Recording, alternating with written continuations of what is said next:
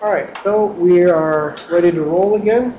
Now, before we roll, just because, you know, I obviously over-provision and put more stuff in here than necessary, how many people need to leave, like definitely need to leave at 4.30 versus uh, can leave at 5 o'clock? So, yep, I know we got you at 4.30 or earlier, whatever. And uh, who on the phone needs to leave at 5.30, or sorry, 4.30?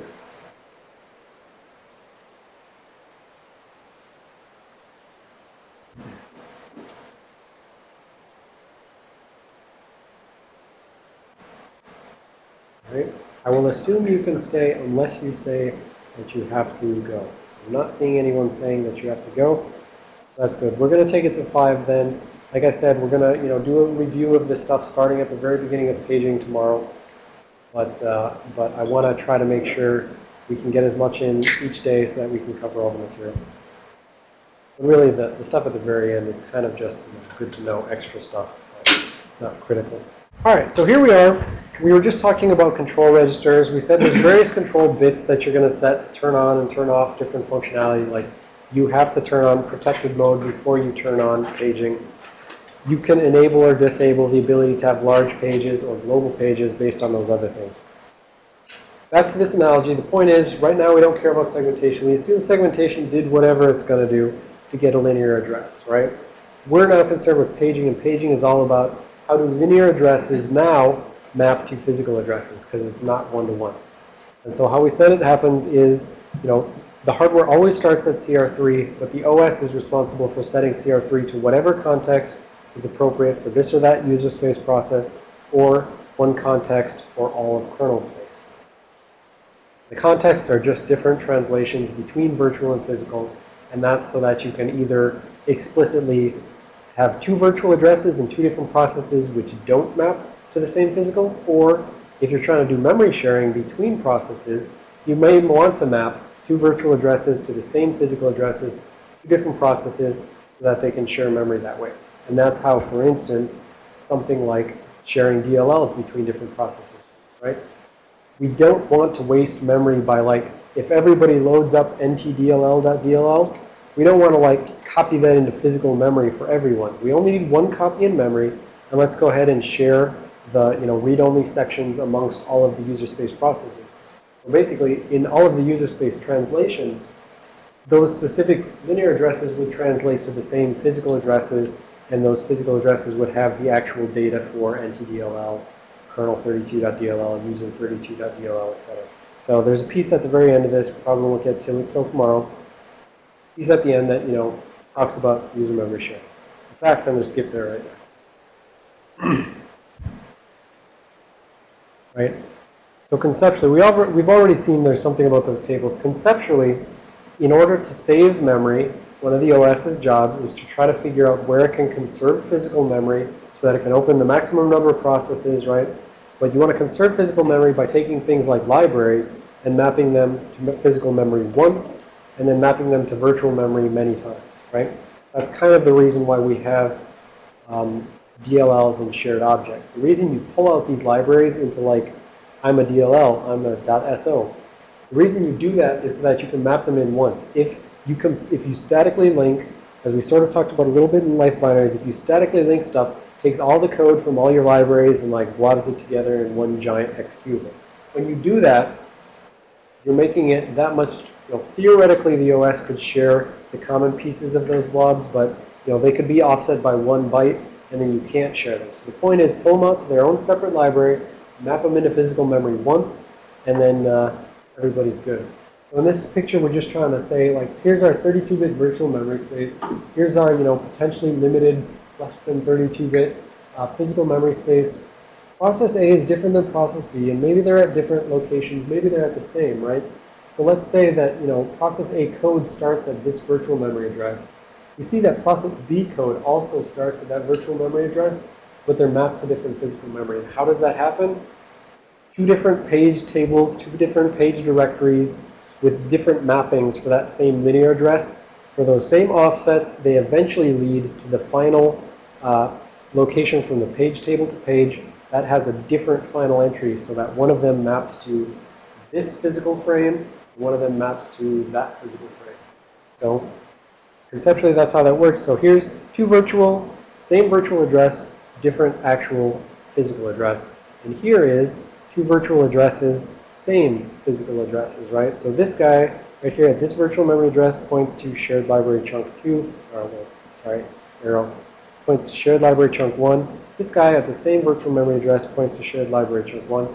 And if you really want, you know, let's say in this process, that virtual address was already taken, right? So we talked about DLLs and relocations, and we said if you're trying, you know, multiple DLLs, but they're going to just have some default location where they want to be in virtual memory, right? And so when this guy loads first, he already took that memory. So the next DLL comes along and says, I want to have that same address too. And the OS loader says, no. It moves it up to some other different virtual address. But thanks to the page tables, you can still map it to the same physical address. The thing can still be shared behind the scenes. Right? And this is sort of what it would look like if you were visualizing it with those page directories, page tables, right? Task A is process A, task B is process B. Each of them gets, you know, a different page directory, for instance. This PDBR, that was that CR3. I don't know why it makes it look like it's in a table. But. So this guy gets, you know, a different uh, pointer to this uh, page directory. So each of these two processes have different page directories.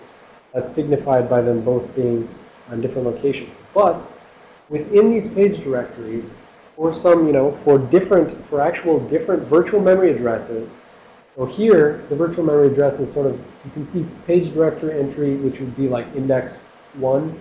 That maps to this shared page table. Over here, index 0 maps to that same page table. So starting at the page directories, they have different page directory entries, but they combine to point at the same page table. And for that page table, that page table can be, you know, mapping to different shared um, pages, right? And it doesn't have to happen at the page table level. You could get all the way to the point where they're not sharing a page table, but for two translations in the file, they could have different page tables. So you could have this one right here and this one right there actually mapped to the same, you know, physical frame. Right? So it doesn't have to be only that you get to the shared page table. You can get all the way to separate page tables which map to the same physical frame or page. Right? So that's sort of how conceptually you got different process spaces that they can share stuff, or they can explicitly keep their code independent on different physical things so that when they write to the same virtual memory addresses, they're not clobbering each other. Any questions on that quick before I go back to the main line? Okay. So that's kind of, you know, conceptually, you've got two different virtual address spaces, one physical address space, and in practice, you got two different page tables, page directories, but maybe eventually they lead to the same physical memory. Any questions on the phone? Mike had a sound video. Um, Mike, will you, uh, this is still about this topic, will the OS make multiple copies for a multiprocessor system? Can you re-clarify that multiple copies of what?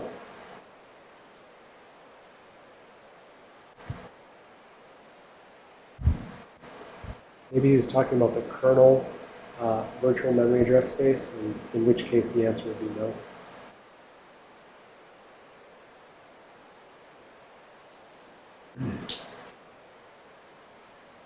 Yeah, so what do all these uh, layers of dereferencing, right, do to uh, performance?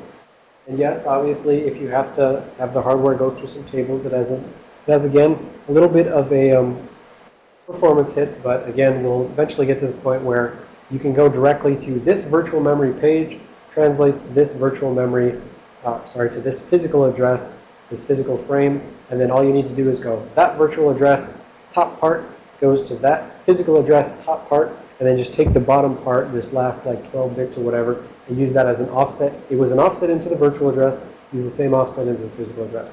So yes, obviously it always has more performance impact, and that's why they added caching so that it doesn't have to walk tables each time. It just, the first time it walks the table, the second time it says, aha, I know that that virtual goes to that physical. All right, so Mike was actually asking about the DLLs in memory, and therefore, will the OS make multiple copies for a multiprocessor system? The answer, I believe, should be no. So he's asking, you know, if you've got a multiprocessor system, you know, do you have multiple copies of shared DLLs? The answer is no, because you've got a multiprocessor system. You've got one memory space. You've only got one big bank of RAM, right? So that multiprocessor is more about the notion of, you know, how do those guys share that same RAM? But you have different and have different memory banks for different CPUs. Yes, you could have, you know, certain regions of physical memory, you know, only used by this CPU and only used by that CPU. But in general, uh, what the OS is going to do is it's going to have its own data structures about like, here's my, here's my total list of, you know, all of the, um, my total list of all the physical frames that I can use, right? And then it's going to be marking them as used or unused and stuff like that. When it needs to find some memory, it says, okay, let me check my giant, you know, list of free and used memory. And I'll say, okay, well, I've got free memory there, so I'm going to go ahead and map something to that, right? And so, yes, different processors could theoretically have different data structures saying that they're allowed to use different physical regions. But again, the question is, where are those data structures? They're in RAM anyways, so you're really just making two different data structures, and if you want to isolate between them. What was Jessica saying about on multi-core systems? No.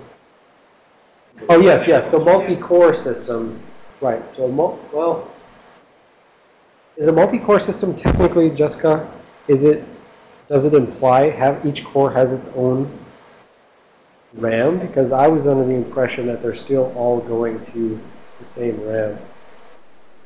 Maybe she was answering it the same way that I was answering. she Thinks that's that what I timing. I thought there was like one bus the. Exactly. There's there's one chipset, there's one North Bridge, which accesses one place that you can get to RAM. So let the debate continue. If you have one. Right,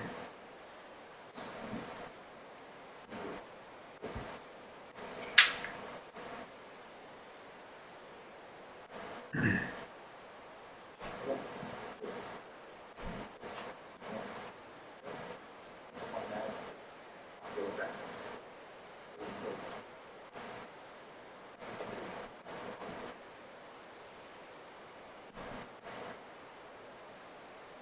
this is where we're going to start, and we're going to dig down into all of that once we resolve this question.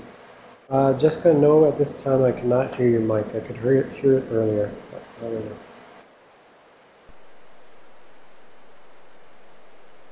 Yeah, right, exactly. And multi-core systems, you know, and just, right, multi, if you got multiple CPUs, whatever caching type stuff is there, you know, L1 or L2 or L3 stuff, some of it's going to be shared, some of it's going to be, you know, on the actual CPU.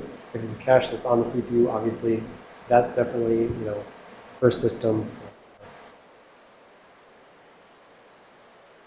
But yes, in general, there's, you know, only one way to get to RAM, so everyone's uh, sharing their physical memory. And that's why there is a notion back in the day when they were trying to, you know, deal with how do we deal with uh, multiprocessor systems, there was a notion of like this CPU is going to be the master CPU. There's going to be other slave CPUs, and maybe this CPU will always be running the code which manages the OS and stuff like that.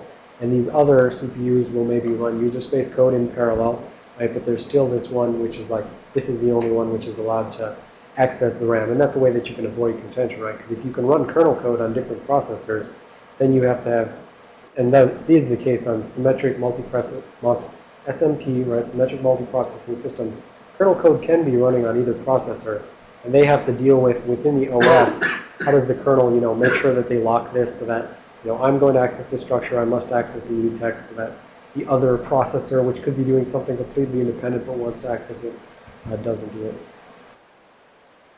So I scrolled up.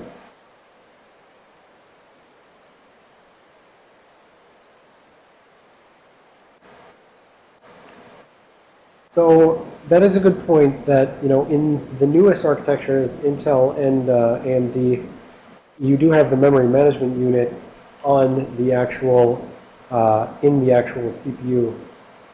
Now, how that affects the RAM, I'm still pretty sure there's one big bank of RAM, but I'm not going to bet my life on it.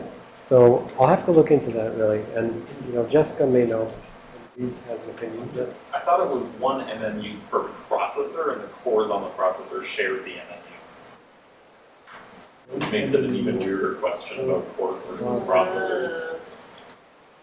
You're looking at multiple, multiple chips on one die. I think the, the major answer here, Mike, is uh, no one knows, and we'll have to look it up. But I'm also wrong. But certainly, um, I really think it would be, I don't know, it would seem strange to me if uh, the architecture allowed multiple address lines into the RAM at the same time. Sounded to, I mean, I could see it happening, but I could see it inducing a bunch of different complexity issues, so, I don't know, we'll have to look it up.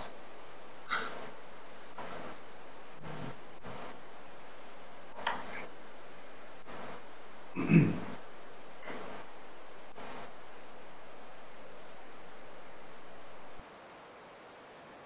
right. All right, so here's where we're at right now. We've got our little analogy about, you know, we're going to have to walk these tables. Everyone's got their own tables.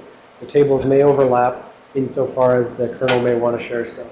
You know that the kernel only has one virtual memory address space for itself, so there's one set of directories and tables for all of kernel. That means every single uh, kernel module can access everywhere. The kernel itself can access everywhere. So we need to dig down. Oh, stop. Break it down.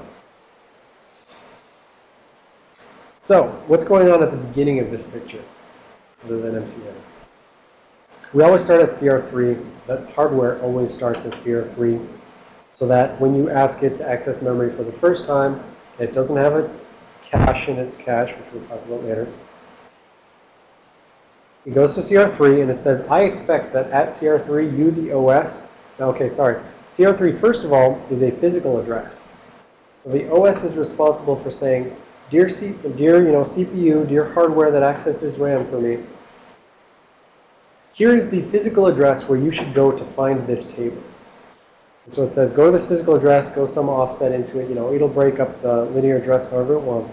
But here's the physical address where you should find the table.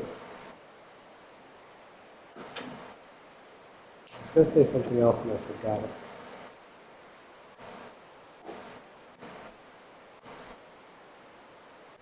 So I think it's sufficient for now to say that, you know, the OS has to set up a table somewhere in physical memory, and the OS has to put that address of that table into the CR3 register. And that way, when the hardware tries to access memory, the paging is enabled, everything works good.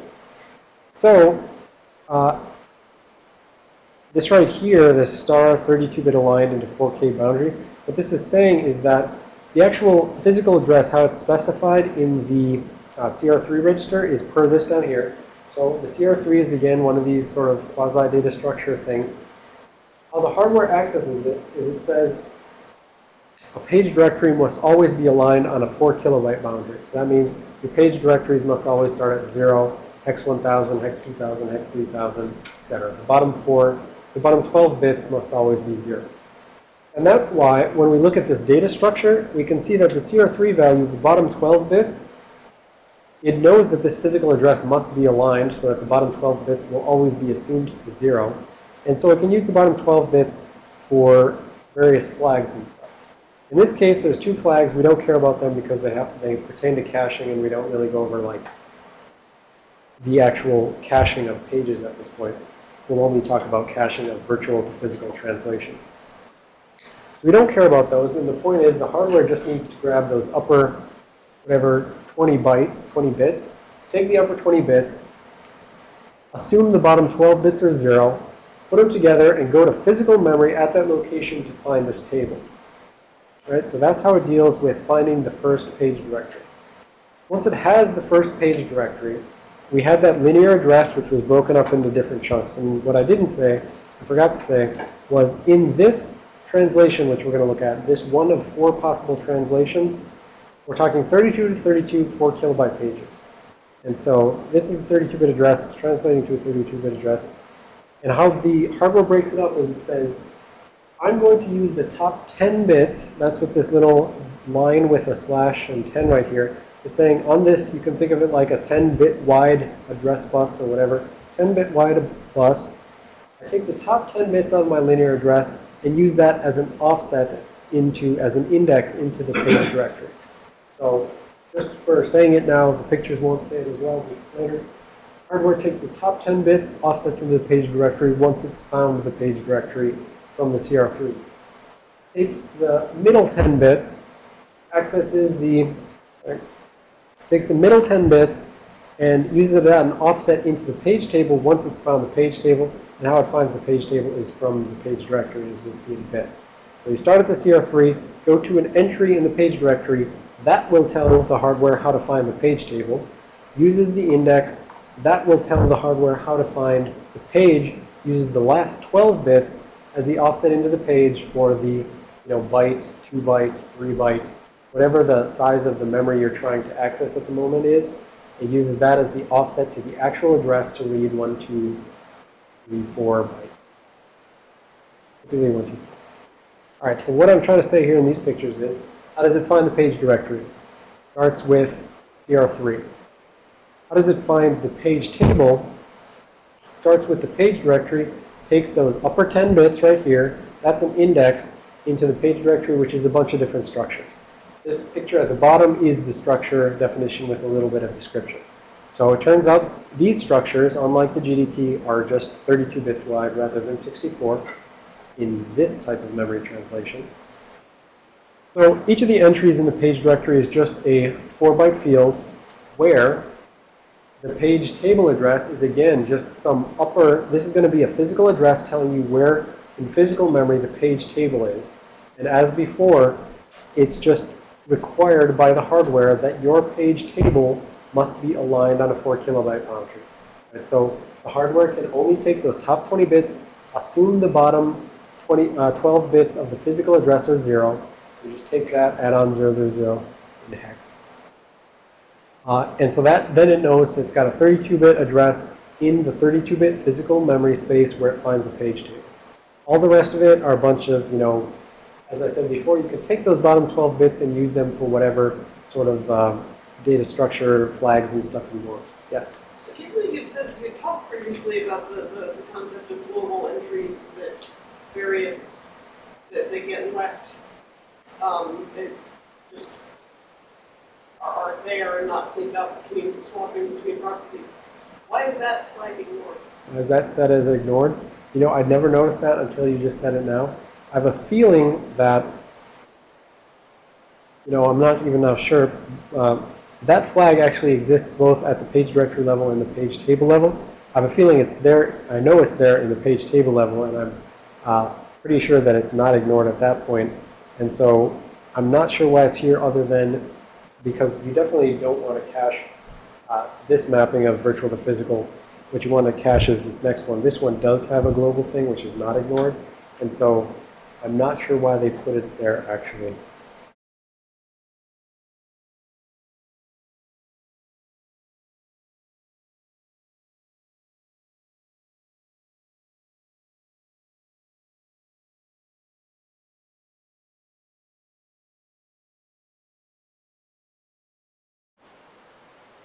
Especially if they're still calling it ignore. So that's a good, good catch.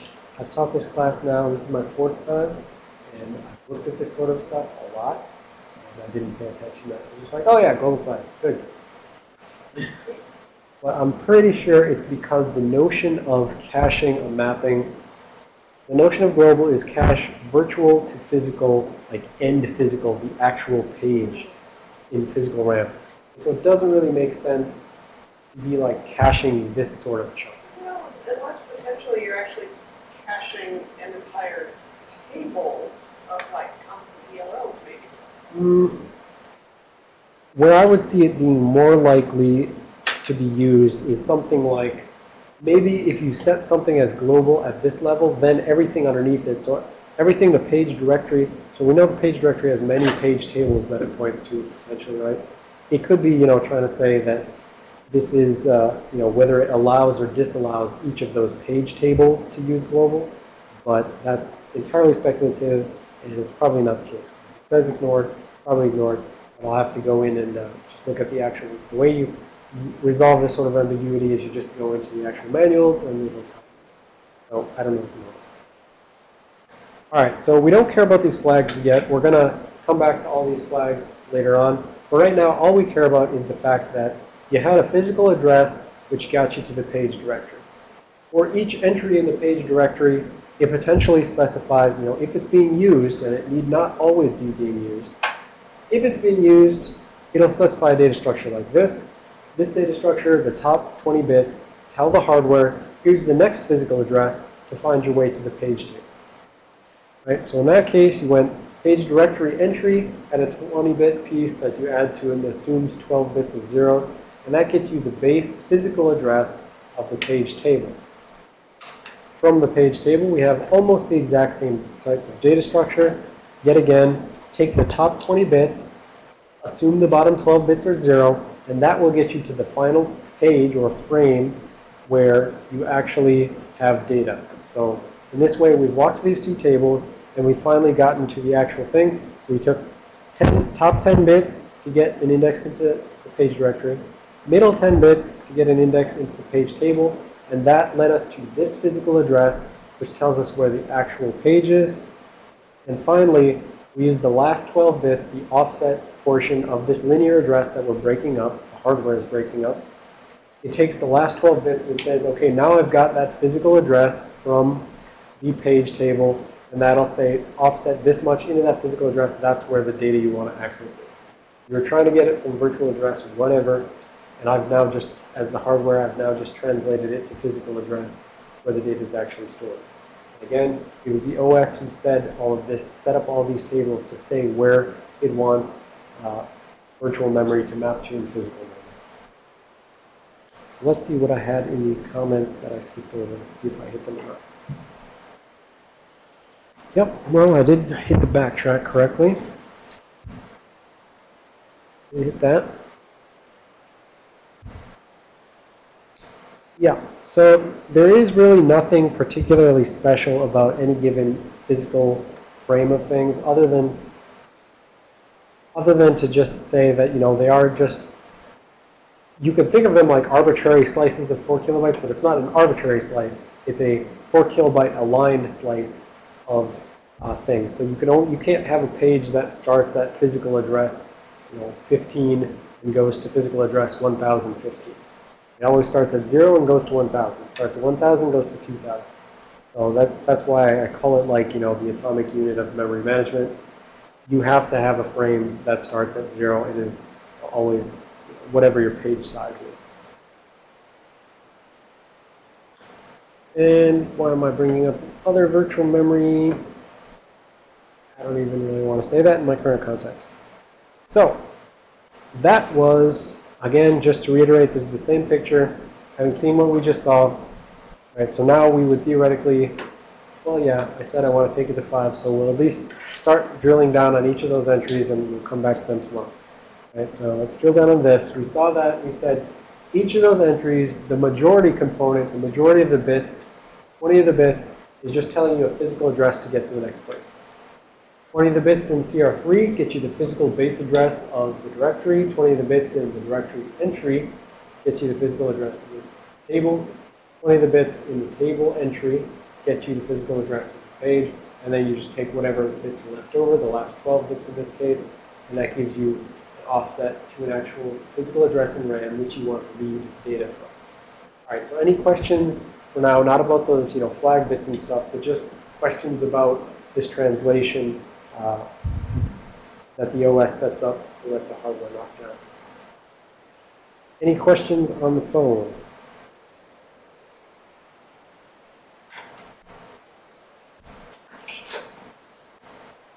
All right, so Jessica is saying that uh, it is the case that because they each have their own memory management unit, uh, the uh, multi-core systems which have their own memory management unit in the CPU are able to access the RAM independently of each other.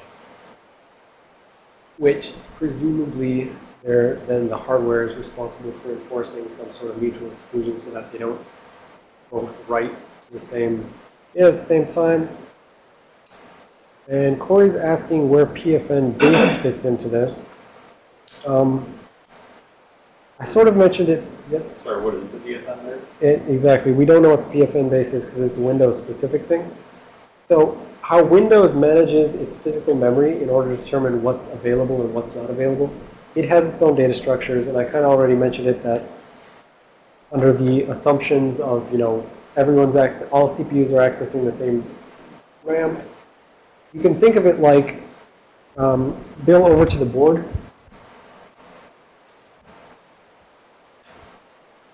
Yeah, didn't mention it. I think everyone must have got the virtual machine password. You can think of it like if you've got, you know, some amount of physical memory. This is your is man. Right? You've got some amount of physical memory and you can only utilize it in 4 kilobyte chunks, right? So this is 4 KB and you start at 0 and this is hex 1000. This is hex 2000, etc., right? So you know that in reality, all you really need to start, we know these always must be 4 kilobyte a line. So when you're thinking, when the OS is keeping, the OS has to keep some data structure somewhere saying what's used, what's unused, right? What if I mapped from virtual memory to that physical memory? What if I not mapped? So somewhere there needs to be a data structure that the operating system manages, which says what's mapped, what's unmapped. In Windows, there's this notion of PFN uh, base or PFNs. PFN stands for page frame number. And as you might expect, the minimal information you have to keep here, if you know that this bottom bit is always zero, you really just have to keep this page frame number saying frame zero is this chunk, frame one is that chunk, frame two is that chunk. So you minimally only really need to keep, you know, 20 bits worth of page frame numbers in the maximum case where you can say, you know, 0 through whatever 2 to 20 is, minus 1. You can say, I know that frame 3 is currently being used. I know that frame 5 is currently free. And so the OS can have this big list of, you know, all the frames that are free and not free. And then in the case of Windows, it makes it more complex uh, in that, you know, it keeps a bunch of other data about this guy may be used at the moment, but it, it, it has a bunch of data structure. It has a bunch of, you know, states that it keeps about things where something can be, you know, straight up used right now. If something could also be freed in the sense of, let's say you just closed a program. You just closed a program, it's going to consult its database and say, well, that program was mapping to, you know, it goes down, it, when it's closing a program, it walks its page directories, page tables, and it says, for each, you know, terminal node there that points at a final frame, you know, those page table entries are going to say, know, for this virtual address, you know, I know that that pointed at physical address, you know, 5000, right? So, you know, this paging information, paging info, the paging info, which is, you know, collectively the page directories, page tables, and stuff like that, is going to have various pointers into physical memory saying, I'm using that right now. But the OS may have notions beyond this of whether a thing is just used or unused. It may say, okay, well, you just closed this program. So all of these are technically free right now. But for instance, you may remember that back in the day, DoD, was it Redbook? And stuff like that, those, uh, those criteria for like, you know, this is a, a C2 system, this is a B1 system, right? Before common criteria, there was these DoD criteria of what your OS must enforce in order to be some protection of. Because of that, and because of Windows, you know, back in the day got whatever it was, C2, I don't remember. The DoD criteria may have said something like, you may not leak memory between processes, right? So you may close this thing and you may say that ostensibly these virtual, these physical things are free. But in order to actually enforce that you're not like, someone doesn't just, you know, do a malloc in kernel memory and they say, hey, kernel, give me, you know, five, five pages worth of data, and it just happens to give it this page, right? You don't want that data from that old process being exposed for new processes and stuff like that. So Windows, in order to achieve this, um, this certification level, they have to, for instance, you know, zero out these things before they can reuse them. So it's like you must zero out the actual data in physical memory before you reuse it. And that's why there's this other additional complexity on top of just straight up used or unused, which says this is unused, but it's not sanitized yet. This is unused, but it has been sanitized. And so it keeps these other like collections of physical memory, which, you know, it can only pull from the, you know, unused but sanitized sort of thing. Otherwise, it doesn't achieve its uh, criterion. So anyways, in terms of uh, Corey's notion of, you know, he's asking where does this other kernel space thing come into play, this uh, PFN base. PFN base talks about some data structure that Windows has. So off to the side, this is physical memory. Uh, that's the actual physical memory, but off to the side, you know, Windows may have some other little thing. And this is the PFN, so page frame number database. I don't remember whether it's a linked list or array. I'm pretty sure it's an array. It says, you know, for this um, page frame number zero, so page frame num index zero in this database corresponds to index zero in the physical memory, but it'll say something like, you know, this is, you know, active right now, right? And active tells the OS like, hey, don't just go reassigning that physical memory to someone else. Or, you know, this one may say, you know, free but unsanitized, right? That sort of thing. So Windows keeps this additional state about each of the physical addresses so it knows how it can use them or not. All right.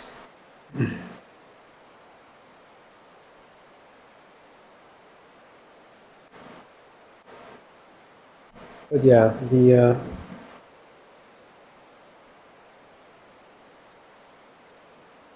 Okay, so Mike clarified that his question was about when we're talking about shared memory on a non-multi-core system, meaning like, you know, everyone goes to the same RAM, even if you have multi-processors, but, you know, they all go through the same memory controller, then, you know, he was asking about would DLLs get, you know, mapped, would each processor essentially, each, you know, each kernel running on each processor would, you know, map, double map things, and the answer is still no.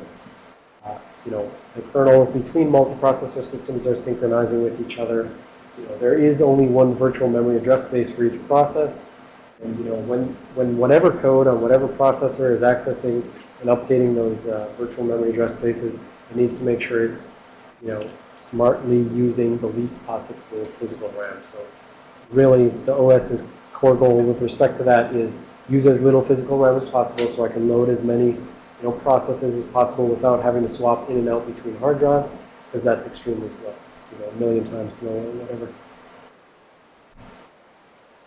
And yes, as he says, this notion of each chip having its own memory management unit and therefore potentially being able to independently go out to RAM, uh, in the very newest sort of processor architectures, they've moved the memory management unit out from the Northbridge, well, they've moved the Northbridge into each core and that uh, you have full independent memory access, at least according to this conversation here. But that's on my list to look up later as well. All right, so we're going to dig into this in our last half an hour, and we'll, of course, go back over it again tomorrow. We want to see what the point of all those flags is.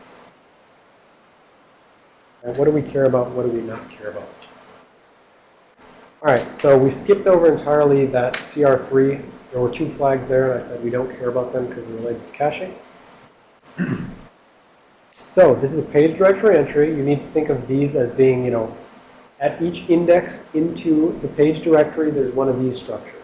And it may be, you know, completely zeroed out. It may not even be used at the moment. But if it's being used, it's going to have this data structure. Right, so we know the main point of a page directory entry is to get you the physical address to get to the page table to complete the locking of these tables. But the key, the super key flag here is the least significant bit. It is the present flag. So we had seen present flag before in the segmentation, and we said that, you know, if this is not set, you know, maybe the hardware will do an interrupt and say, you know, hey, you're trying to access a segment, but the descriptor says it's not even present. Same general notion here, except I generally don't see that notion being used at segmentation, and you definitely always see it being used in paging. The notion is here, for instance, if you're not translating virtual, if you got, you know, some virtual, let me put it this way, right? We know that each process has, you know, this virtual 32-bit space, right? But when you load up calc.exe and calc.exe is, you know, one megabyte or whatever, you're loading that one megabyte into the 32 32-bit space. What about all the virtual memory on either side of it, right? There is no physical memory backing that virtual memory. So for all of the translations and page directories and page tables and stuff like that, for those virtual addresses where there is no calc.exe or any of the DLLs, there's always these gaps in the virtual memory space where there's just simply nothing using it at the moment. For all of those gaps in the virtual address space, page directory and page table entries should be such that when the hardware breaks it up and takes the top 10 bits, it gets into an index to get one of these page directory entries, and that thing should be like entirely zero wiped out. So that when the hardware checks the present flag, it sees, hey, you're trying to access a linear address, which got me to this index in this entry, but the present bit is set to zero. This virtual address does not have physical memory backing it, and the hardware then throws a page fault, which we talked about very briefly, and we said the hardware, you know, just automatically does this, and when it sees that someone somewhere tried to access virtual memory for which the present flag is set to zero, it does a page fault, and a page fault is handled by one, creating a special type of interrupt, and two, the um, CR2 that we said before, CR2 grabs the address of whatever code was executing and tried to access it. So, one second. So, for instance, a very common thing is like null pointer dereference, right? So you may have some code, and you know, for whatever reason, the code is wrong, and at some point you get a pointer set to zero, and you try to access memory at that address is zero. In a properly set up, you know, virtual memory address space, and actually, it's the fact that on Linux, the properly set up Windows virtual memory address space, there is nothing at address zero. So first of all, I should say in Windows, kernel memory is at high addresses 8000000 and greater. So from 8000 to F, FFFFF. And user space code is from 0 to 7 FFF. So because Windows is not mapping anything to address space 0, when the hardware comes along and your, you know, calc.exe or your, you know, little program tries to access linear address space 0 because it's trying to dereference a pointer, go to memory at address 0, because paging's turned on, the hardware is in play here. The hardware says, okay, I will take the address 0, I will take the top 10 bits, that is index 0, and it goes into the page directory, and what it's going to find is a page directory entry, which is unused and therefore all zeros. If it's all zeros, the present bit is set to 0. If the present bit is set to 0, it's going to page fault, set CR2 to whatever code is accessing it. And that's why, for instance, the debuggers can actually like find who just caused this problem. Like, how do you know where it was uh, trying to access 0? It's because the CR2 gets set. A debugger will know to go check the CR2 to find the culprit. Yes? So when you're actually doing the paging memory out to, to, to disk, is what's actually going on there that it is throwing a page fault, it's just that the kernel is intercepting it and saying, actually, I do know where that is, and I'll put it there in a minute, Yep. and just behind the scenes, so we don't ever see that that's gone wrong. Exactly. So the whole point of paging out to disk is that the kernel will set this present flag to zero, but then it'll take all, so I didn't say it here, but it's in the manual. When the present bit is set to zero, Intel says, hey, you can use all the rest of the bits for whatever you want.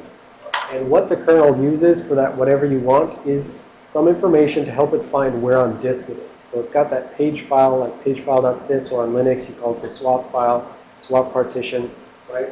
It has some data structure on disk where when it has to take stuff out of RAM, and it has to set it to zero, right? It's being used, the virtual memory is being used, but there's not enough physical memory. It needs physical memory for something else.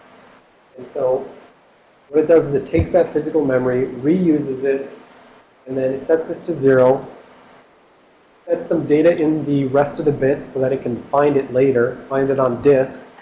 And then, as she said, if you try to access that, a page fault will occur, but the page fault handler is going to go check this entry in this current context, which is executing, and it's going to say, all right, yes, my present bit is zero, but is the rest of that data look like one of those data structures that tells me it's on disk? And if so, I will go get it from disk, fill it in, you know, over, you know, find some physical memory which is free, and maybe I'll have to kick out some other physical memory. But I'll find some physical memory that's free, or I will make physical memory that's free, and I will copy that data off of disk back in there. I'll walk these page tables and I'll fill in the terminal entry so that it maps to the correct physical address. Like, right? So this will be set to zero, or maybe sometimes this will be set to one, but this will be set to zero. They both have present flags. And so either way, it needs to make sure that if, if it finds that someone's trying to access something which it kicked out to disk, it goes out to disk, finds it, finds a free physical frame, you know, maybe it has to kick someone else out, but it finds a physical frame, takes from disk, copies it to that, and then goes back and, and re-enters the correct translation to get that linear address to a page table, to get that page table to a physical address, etc. Question? Uh, sort of. Um, so these all also have to be loaded into uh, memory. They can't be ever be page, like the the page table entries and all that. Right, can the page table entries be paged out, for instance, right? You know, can your, these page tables and page directories, they are also in physical memory, and they're also in virtual memory and stuff like that, right? And so he's asking, you know, can these be paged out? I believe page tables can actually be paged out. But I believe that page directories cannot. So the OS needs, when it's got that big array of like, here's all my physical memory, it needs to like set up, it needs to start out and say, look, for these chunks of physical memory, I'm going to put a bunch of page directories there. And those better never be kicked out to disk, right? For these chunks of physical memory, I'm going to, by convention, use that range for whenever I need a page table. I'm going to check somewhere in there. But maybe those can be paged out to disk because, you know, I'll get uh, a page fault when I try to access it. When I try to go from the physical, well, let me think. Yeah, so go try to go to the physical address. You know, maybe you successfully, like I said, you always have to have this page directory in. But when you try to take that physical address, tack on the 12 bits of zeros, and try to get to that, yeah, how you would specify it is you would basically say, you know, this would not be present, and so if this was set to not present, the page table could be paged out to disk. Uh, but even on that, if I explain it, it's going to get too complex, so I'm probably going to misexplain it. So I think, I'm pretty sure page tables can be paged out. Pretty sure page directories cannot be. How the OS actually deals with the implementation details of figuring out my page directory is missing versus my, you know, actual terminal page is missing. How it details with the specifics of that, I think would be dealt with in that using the top 31 bits for whatever, right? So I'm pretty sure there's a different sort of data structure indicating, hey, you know, this 31 bits, if, if, page, if present is set to zero, this 31 bits can either say, hey, you're actually missing, you know, a, a final frame, or it can say, hey, you're actually missing a page table, and, you know, it can tell you either way where to get it off of disk. So that's the basics. But were you going for something else with that? Uh, I'm no, just, just wanting to say that, yeah, you could, these, these page directories and page tables need to be in physical memory in order for the hardware to find them, right? So, so was that always the case if it's, if the present flag is zero and it's one through thirty-one are zero, that means there's nothing back in it. But if one through thirty, if it's zero, one through thirty-one have some data in it, then there's something back in it, just needs to. Not necessarily. It- It's just OS specific what happens at that point. There need not necessarily be something backing it, but typically that's how it's going to be. It's if present is set to zero, it's OS specific what the other 31 bits mean, right? So they may mean if something's backing it, they may have some complex thing to do, but in the general case, yes, the other 31 bits typically are going to be used to refer to, hey, this is out of my page file on disk. And different OS is going to have a different way of doing that. All right, so so that's the, the key point on the present flag there. Uh, next, we have the read-write flag. And the read-write flag has to do with whether or not the page you're trying, so we said before that the hardware has a notion, when we were talking about segmentation, the hardware has a notion of this is a code type access or this is a data type access, right? Within the data type accesses, it also has the notion of I'm trying to do something to read data or I'm trying to do something to write data. And so this read-write flag is, you know, if you have, for instance, the CPU is trying to execute the instruction move from EAX to, you know, RAM at, you know, square brackets EBX or something like that, right? Trying to move from register to memory. When the processor executes that instruction, somewhere it's setting, hey, this instruction is about writing to data, writing to memory, right? And alternatively, right, if it was a move from angle brackets EAX to EBX, it would say, hey, this instruction is about reading data. The OS, when it's dealing with these, uh, with these page level chunks of memory, it can say, look, for this chunk of memory, you are not allowed to write to it. Right? This is read-only memory. And so if it sets this to uh, zero, it sets this flag to zero, this should only ever be read from but never written to. Right? So you can think of that like, for instance, maybe you want your code section to not be uh, updatable, right? You want your code section to be executable and readable, but not writable, sort of like we already have in segmentation. So if you have some chunk of memory that you want to be read-only, actually a better example would be like your R data section, right? You've got a bunch of strings in your thing. You don't want to accidentally be like, you know, overwriting your strings. So you got some chunk of data which maybe per the binary format says, you know, the binary format, the PE file says, this chunk of my memory, when I'm, when I'm mapped from disk into memory, I want you to take this chunk, which I call R data, and I want you to make that non-writable, right? And so when the OS loader is loading up some binary, it can say, aha, I see that for virtual memory address space is this, which is the R data section. I should make that as non-writable. And how it implements that is by putting, taking the flags and saying, you know, this page, for, you know, this four kilobytes of that section, that is non-writable. You know, for the next four kilobytes, that's also non-writable. But maybe the next part is your data section and it's readable and writable. Yes. Do you have any insight as to why the page directory entry version of that flag, which is so much coarser, actually overrides the page table entry version of that flag, which suggests that you need completely different page tables for different permission levels? Well,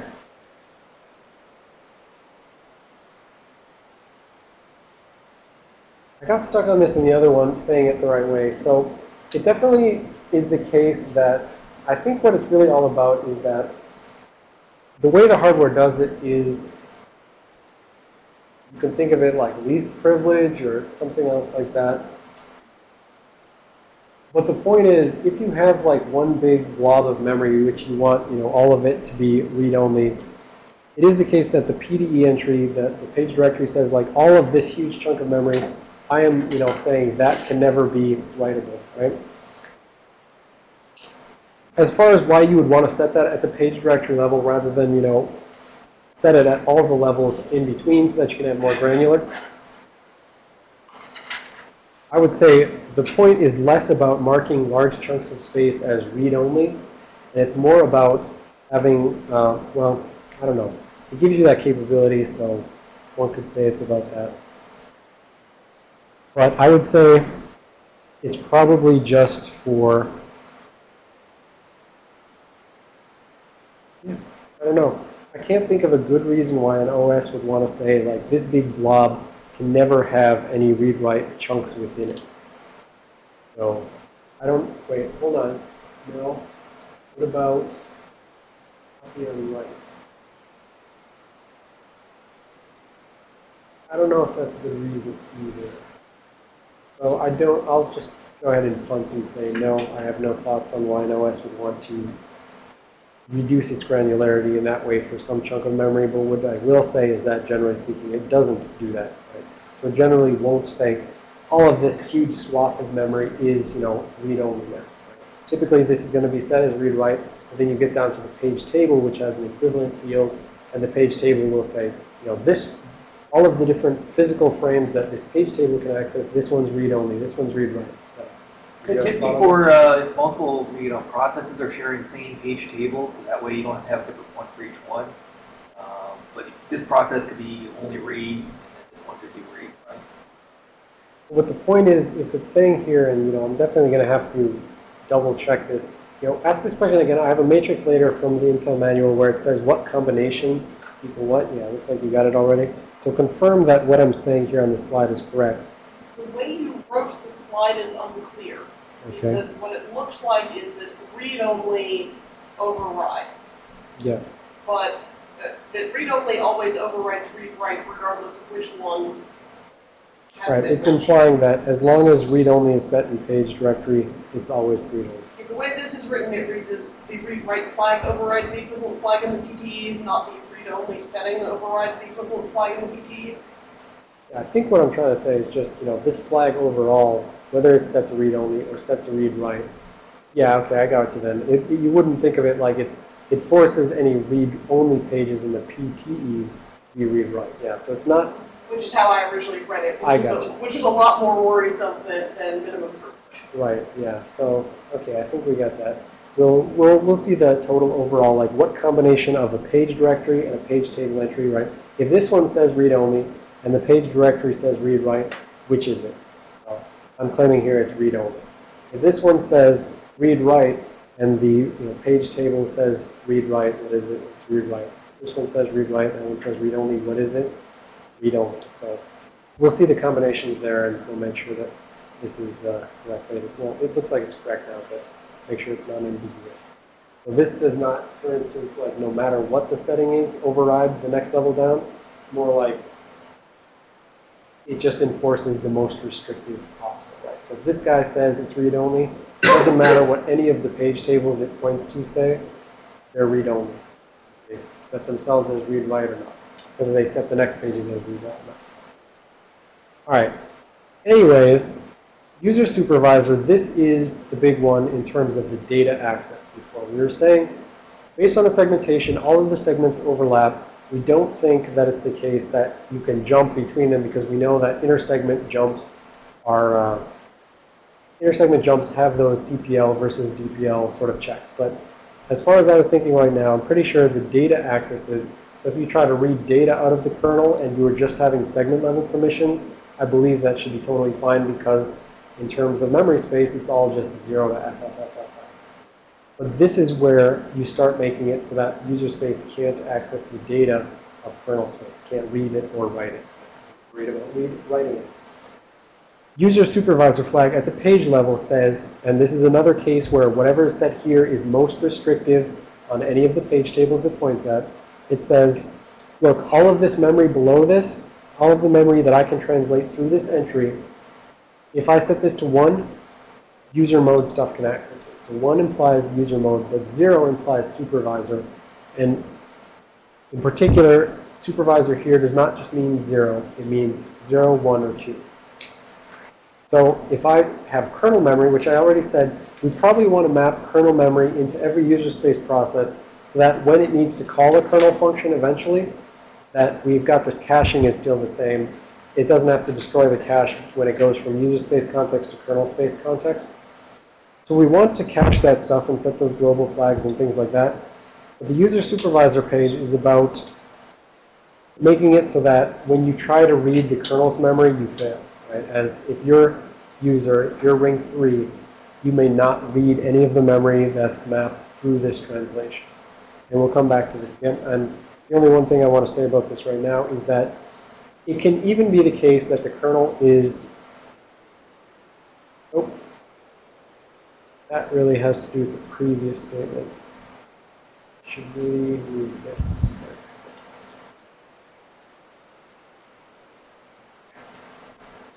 So before I would have talked about user supervisor, what I really would have wanted to, oh no, it's, it's actually both of them. But is it user supervisor as well? Yeah, oh yeah, that's right, it is. You know, late in the day, I don't even understand my son's size. All right, so what I wanted to say here is that both of these two previous bits that I just talked about interact with a flag in the control registers that we didn't even talk about yet. So it can actually be the case that it's so locked down that even the kernel may not write to a piece of data that is marked as read-only, right? So the kernel is supposed to be all privileged and all that stuff, right? But this is not a security feature. This is an error checking sort of feature, right? So if you have your kernel trying to write to data which is mapped as read-only, you kind of want to know about it. There's something going wrong here, right? So not for security purposes, but for error checking purposes. There's a flag in the CR0 register called WP or write protect. And if write protect is set to 1, that means even if you're supervisor, even if you're kernel, you may not write to your own read-only pages. But if write protect is set to 0, then yeah, kernel can scribble over anything it wants anywhere. And so, you know, this is something which is mentioned early on in the rootkits book and stuff like that. If you've got, you know, we said it's not a security mechanism, it's just a sanity checking mechanism. So the kernel, when it's got some data structure like the GDT, IDT, sets it up once, says, yeah, good, done. Marks it as read-only, right? Should not be modified after this. So if some rootkit comes along and it just, you know, tries to go like, hey, I'm going to modify the IDT, that's marked as read-only. Write protect is in effect, and therefore it can't do that. There will be, you know, a general protection fault, again, one of those sort of error conditions. But obviously, the kernel module, the rootkit or whatever, can come along and just, you know, set the write protect to zero and then modify whatever it wants because it's not a security feature, it's an error checking feature. So, But does CR, so CR zero must change for corresponding, when CR three changes or something? um, zero zero must change when zero three changes. No, it's really the case that in a normal OS, it's always just going to have write protect set, whether you're in user space, kernel space, something like that, right? You should not be able to write to your stuff. Now, if you write to something, and, and that's actually, you definitely will see that in user space. If you do not, if you've ever noticed, if you've ever tried, even in a user space program, if you try, you take a user space program, you analyze its PE headers, you say, aha, okay, here's the RData section, here's a string. In your user space program, go ahead and try to modify that string, right? You know that in C, strings are immutable and you can't change them, right? Go ahead and try to modify that in a, in a place that the kernel has mapped, because of the headers, the kernel has mapped the RData as read-only. Try to modify it, you will get an exception. That exception is because the kernel has mapped it as read-only. The CR0 write protect is always set to be 1, so that you should not be able to write the stuff. Uh, and therefore, you're just going to get an exception.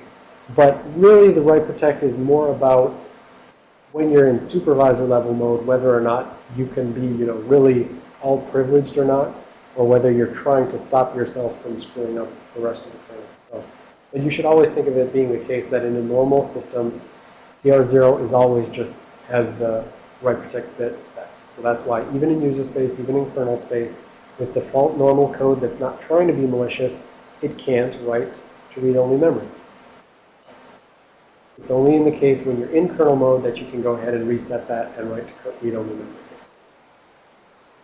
It's one and it's a writable page, it doesn't matter. Right.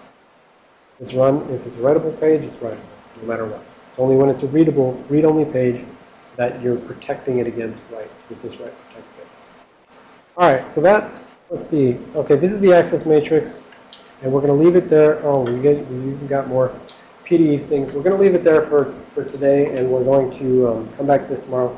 But this is just, again, to, to reemphasize that there are page directory level permissions with respect to is this user space or is this supervisor? Is this read only or is this read write? And this table basically breaks down, you know, what's actually in effect. So if you are in user memory, so you are CPL or privilege level of 3, and if you're trying to access something where the page directory says this is a read-only, everything below this is read-only, then it doesn't matter whether the page table says it's read-only or whether the page table says it's read-write. This page directory takes precedence and says, look, you get read-only. Right? So you can go look at that matrix, make sure everything makes sense to you, but it's really just saying page directory level user versus user versus supervisor and readable versus writable. Those overrule any page tables which are below them? So if you want to have any page table that can have writable memory, you better make sure that the page directory is set to writable. Then you can set at a more granular level, each page table can either be writable or read-only, that sort that's it for today. Uh, any questions from anyone in here? Any anyone on the phone have any questions about uh, paging in general? Right, so we already saw segmentation today, and then we said segmentation, we pretend that you know, you're in real mode or something like that, that you go linear to physical directly, but in reality, most of the time, most operating systems are running protected mode, paging enabled. So in reality, segmentation is always being used, but behind the scenes, segmentation turns logical addresses to linear addresses, and then these page tables kick in to turn linear addresses, which we're now calling virtual addresses, into physical. So any questions on anything today? Nope. All right, class dismissed. go ahead and, uh, ask me any other questions offline if you got it. Does everyone on the phone have all of your lab environments and everything set up? Is there anyone who still hasn't been able to do the WinDbg? I think we've got everyone, just double checking.